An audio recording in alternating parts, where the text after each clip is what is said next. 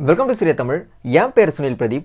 இன்றைக்கி நம்ம இந்த வீடியோவில் பார்க்க போகிற ரிவ்யூ ஆஹா ஆப்பில் ஒரு தெலுங்கு ஹாரர் வெப் சீரிஸாக ரிலீஸ் ஆன ஆனியாஸ் டுட்டோரியல் இந்த வெப் சீரிஸை பற்றி தான் நம்ம இன்றைக்கி பார்க்க போகிறோம் ஆனால் அதுக்கு முன்னாடி நம்ம சேனலை நீங்கள் இது வரைக்கும் சப்ஸ்கிரைப் பண்ணாமல் இருந்தீங்கன்னா மறக்காமல் சப்ஸ்கிரைப் பண்ணிவிடுங்க அப்படியே பக்கத்தில் இருக்க பெல் பட்டனையும் கிளிக் பண்ணிக்கோங்க.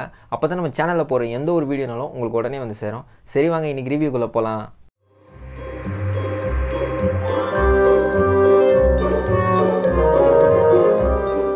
பொதுவாக ஹாரர் மூவிஸு ஹாரர் ஸ்டோரிஸு அப்படின்னா எனக்கு ரொம்ப பிடிக்கும். அதே மாதிரி என்னை போல் உங்களுக்கு எல்லாருக்குமே பிடிக்குன்றது எனக்கும் தெரியும். என்ன தான் பேய் மேலே பயம் இருந்தாலும் நம்ம எப்படியாவது அந்த பேய் படத்தை பார்த்தோன்னு தான் நினைப்போம். அந்த மாதிரி எப்படி இதில் பயமுத்திருக்காங்கன்னு பார்க்கலாம் அப்படின்னு நானும் பார்த்தேன். இந்த வெப்சீரிஸோட கதை என்னென்னா வீட்டில் அக்கா கூட அடிக்கடி சண்டை போடுற ஒரு தங்கச்சி ஒரு நாள் இந்த சண்டை பெருசாகி வீட்டில் சொல்லாமல் கொள்ளாமல் வீட்டை விட்டு வெளியில் வராங்க. அவங்க வெளியில் வந்துட்டு இது வரைக்கும் யாருமே ரொம்ப வருஷமாக தங்காத ஒரு அப்பார்ட்மெண்ட்டாக பார்த்து ஸ்டே பண்ணுறாங்க அப்படி அந்த அப்பார்ட்மெண்ட்டில் இவங்க போய் தங்கும்போது அவங்களுக்கு நடக்கிற சில வித்தியாசமான அமானுஷமான விஷயங்கள்லாம் என்ன என்ன அப்படின்றது தான் இந்த வெப்சீரிஸோட மொத்த கதையுமே. எனக்கு தெரிஞ்ச பாசிட்டிவ் பாயிண்ட்னு பார்த்தீங்கன்னா இந்த கதை தான் இந்த ஸ்டோரி லைன் பார்த்தீங்கன்னா அவ்வளோ சூப்பராக எழுதியிருக்காங்க.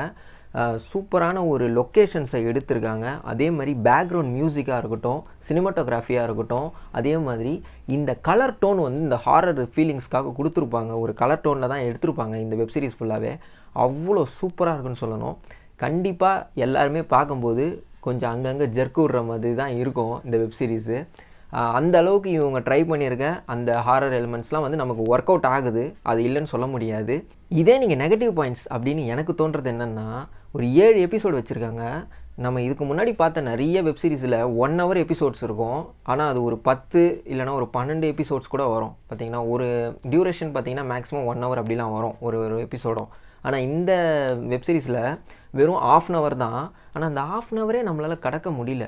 ஒரு நாலு எபிசோடுக்கு மேலே கடைசி மூணு எபிசோட்லாம் அட என்னடா சொல்ல வராங்க? எப்படா முடியும்? அப்படின்ற மாதிரி ஒரு ஃபீல் கொண்டு வந்துடுது. வந்த சீனே வர மாதிரி ஒரே இடத்துல உட்காந்து ஒரு லைவ் ஒரு போடுவாங்க. லைவ் போட்டதுக்கப்புறமா அவங்க அதாவது அவங்கள சுற்றி நடக்கிற சில அமானுஷ விஷயங்கள்லாம் வந்து கேப்சர் ஆகும். அந்த கேமராவும் எங்கேயுமே மூவ் ஆகாது. ஒரே இடத்துல ஸ்டாண்டர்டாக இருக்கிறதுனால நமக்கு கொஞ்சம் அப்படியே சலிப்பு தட்டுது. என்னடா இது? இப்படியே போயிட்டுருக்கேன்னு. ஆனால் இதில் அவங்க கான்செப்ட் எப்படி எடுத்துகிட்டு போயிட்டாங்கன்னா இது ஒரு லாக்டவுன் பீரியடு அதனால் வந்து வெளியே எங்கே போக முடியாது அப்படின்ற மாதிரி எடுத்துகிட்டு வந்துட்டாங்க. சில ரெஸ்ட்ரிக்ஷன்லாம் இருக்கிறதுனால வெளியில் நம்ம போக முடியாதுல்ல. அந்த டைமில் இது நடந்த மாதிரி காமிச்சிட்டாங்க. இருந்தாலும் ஒரு குட்டி ஃப்ளாட்டு சாரி ஒரு பெரிய அப்பார்ட்மெண்ட்டு அதில் ஒரு குட்டி ஃப்ளாட்டு இந்த மாதிரி ஒரு இடத்துல இவங்க வந்து ஒரு இடத்துல கேமரா ஃபிக்ஸ் பண்ணிவிட்டு இவங்களுக்கு நடக்கிற அமானுஷ விஷயம் ஏற்கனவே அங்கே ஒரு பிரச்சனை நடந்திருக்கான் அந்த ஃப்ளாட்டில் அதை போய் இவங்க அங்கே ஸ்டே பண்ணும்போது இவங்களுக்கு என்னென்ன நடக்குதுன்ற மாதிரி காமிக்கிறாங்க. அதுக்கப்புறம் இவங்க லைவ் ஸ்ட்ரீமிங் பண்ணுறாங்க லைவ் ஸ்ட்ரீமிங் பண்ணும்போதும் சில விஷயங்கள்லாம் வந்து பார்த்திங்கன்னா இவங்களோட ஃபாலோவர்ஸ் வந்து பார்ப்பாங்களாம். அவங்களுக்கு வந்து இதோட இம்பேக்ட் எப்படி ஆகுது அப்படின்னு. அதாவது அந்த கோஸ்ட் வந்து எப்படி அவங்களையும் ஃபாலோ அந்த இவங்களோட ஃபாலோவர்ஸையும் டிஸ்டர்ப் பண்ணுது எப்படி ட்ராவல் ஆகுதுன்ற மாதிரி சில கதைங்கள்லாம் காமிச்சிருக்காங்க. இந்த மாதிரி வந்து சில நெகட்டிவ் பாயிண்ட்ஸ் இருக்குது அதாவது அடுத்தடுத்த சீன்ஸ் வந்து இன்ட்ரெஸ்டிங்காக கொஞ்சம் கம்மி பண்ணிட்டாங்க. ஸ்க்ரீன் பிளேயில் கொஞ்சம் கோட்டை விட்டுட்டாங்கன்னு தான் சொல்லணும். ஆனால் இந்த வெப்சீரிஸில் எனக்கு நிறைய பிடிச்ச சீன் இருக்குன்னு சொல்லலாம். எதனால் வந்து இதில் ஸ்டோரி லைன்லாம் சூப்பராக இருக்குன்னு நான் சொல்கிறேன்னா இவங்களோட ஃப்ளாஷ்பேக் கதையிலலாம் பார்த்தீங்கன்னா சுற்றி சுடுகாடு நடுவில் ஒரு வீடு. அந்த வீட்டில் தான் இவங்க வாழ்ந்துருப்பாங்க. அதுவும் அந்த சாதாரண வீடு இல்லைங்க. இவங்களுக்கு கையில் காசு இல்லாததுனால கம்மி வாடகைக்கு அந்த பாடடைஞ்ச வீட்டுக்கு இவங்க போய் தங்குவாங்க. ஒரு குட்டி வீடு தான் அது. சில பேர் வந்து அந்த வீட்டு கதவு தட்டும்போது வீட்டு கதவு திறந்தோன்னே இந்த மாதிரி நாங்கள் ஒரு பணத்தை கொண்டு வந்தோம். அது வந்து காணாமல் போச்சு. அது உங்கள் வீட்டுக்குள்ளே இருக்கான்னு பாருங்கள் அப்படின்னு சொல்லுவாங்க. அப்போ தான் நமக்கு ஒரு விஷயம் வந்து புரியும். இந்த வீட்டில் வந்துட்டு இந்த டெட் பாடியை வச்சுக்க முடியாதவங்க இருப்பாங்கள்ல வசதி இல்லாதவங்க இருப்பாங்க. அப்புறம் வாடகை வீட்டில் இருக்கவங்க ரொம்ப நேரம் டெட் பாடி வச்சுக்க முடியலன்னா இவங்க தங்கியிருக்காங்க பார்த்தீங்களா? அந்த வீடு வந்து வெறும் பணத்தை வச்சுட்டு அதுக்கப்புறமா புதைக்கிறதுக்கோ எரிக்கிறதுக்கோ யூஸ் பண்ணுற அந்த வீடு. அந்த வீட்டில் இவங்க வாடகை எடுத்து தங்கியிருப்பாங்க.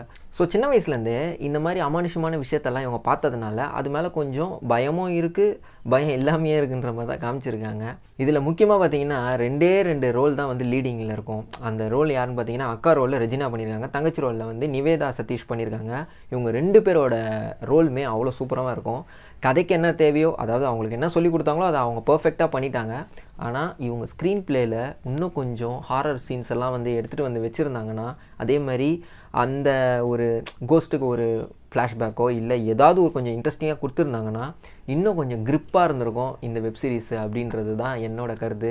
இந்த வெப்சீரிஸை வந்து நீங்கள் பார்க்கணுன்னா ஆஹா ஆப்பில் பார்க்கலாம். இது தமிழ் டப்பிங்லேயும் இருக்குது தெலுங்குலேயும் இருக்குது பதினெட்டு வயசுக்கு மேலே இருக்கிறவங்க பாருங்கள் அப்படின்றதான் என்னோடய சஜஷன் ஏன்னா இதில் வந்து அடல்ட்டு சீன் எதுவும் கிடையாது. ஆனால் ரத்தம் தெரிகிற சீன்ஸ்லாம் நிறைய இருக்குது ஸோ பதினெட்டு வயசுக்கு மேலே இருந்தீங்கன்னா நீங்கள் வந்து பார்க்கலாம். ஃபேமிலியோடு பார்க்கலாம். ஒன்றும் பெருசாக கிடையாது.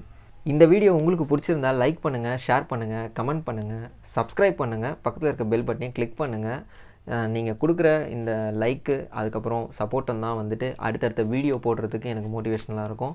ஸோ கண்டிப்பாக வந்து சப்ஸ்கிரைப் பண்ணிட்டு வீடியோ பாருங்கள் அதே மாதிரி லைக் போடுங்கள் உங்கள் கமெண்ட்ஸ் எதுனாலும் வந்து ஷேர் பண்ணுங்கள் இதே போல் இன்னொரு வெப்சீரிஸ் ரிவ்யூவில் நான் உங்களை பார்க்குறேன். தேங்க்யூ